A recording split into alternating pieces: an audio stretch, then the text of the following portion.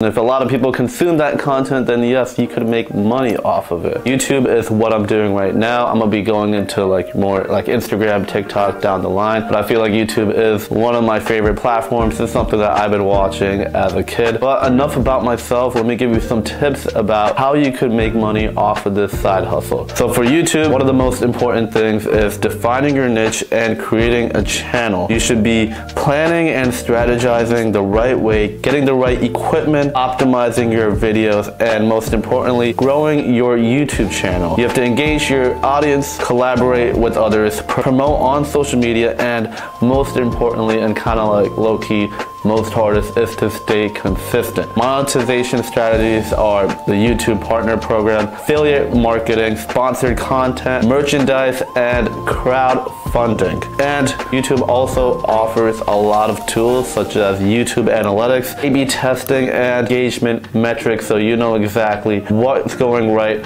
what's going wrong, you know where to improve, and you know how to get better while making your videos. So like I said, this is exactly what I'm doing right here. I'm not really doing it as, you know, a way to make money. I'm just doing it something on the side because this is something that I wanted to do for a long time. Next up, we got the stock market.